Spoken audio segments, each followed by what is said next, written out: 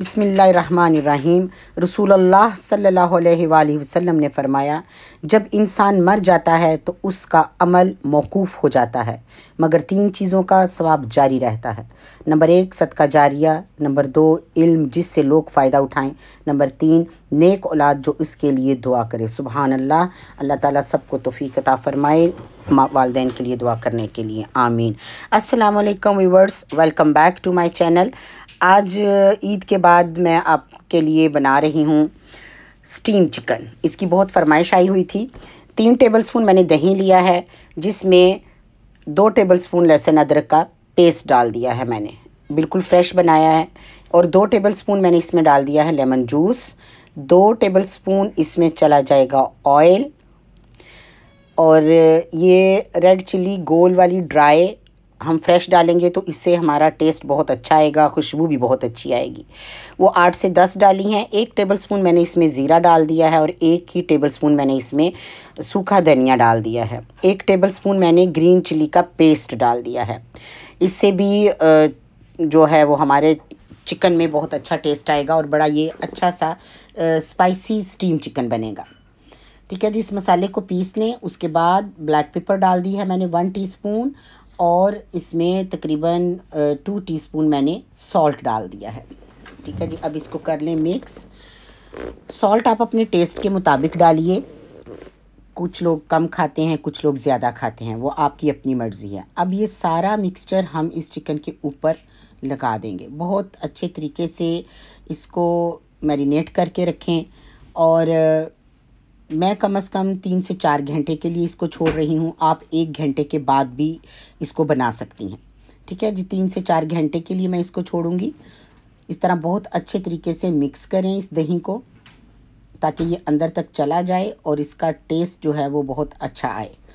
इस तरह से इसको मिक्स करके और उसके बाद इसको कवर करके मैं फ्रिज में रख दूँगी तीन से चार घंटे के लिए।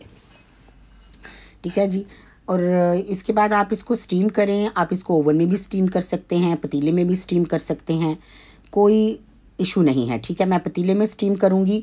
पतीला मैंने ले लिया प्री हीट करके, मैंने इसको फॉइल पेपर में लपेट के थर्टी मिनट के लिए थर्टी मिनट के लिए मैंने इसको इसमें स्टीम किया है। ये देखिए फॉइल पेपर मैंने ऊपर नीचे फॉइल पेपर में इसको अच्छा सा कवर करके तो फिर इस देगचे में रखा था। ठीक है जी? और अब इसमें ये आफ्टर थर्टी मिनट बिल्कुल बहुत अच्छे तरीके से ये गल चुका है। ये देखिए चेक करेंगे, बहुत अच्छा गल चुका है। और फिर इसके बाद आप इसको एज इट भी सर्व कर सकती हैं। लेकिन मैं थोड़ा सा बटर लगा के उसमें इसको बहुत अच्छी सी खुशबू देने वाली हूँ।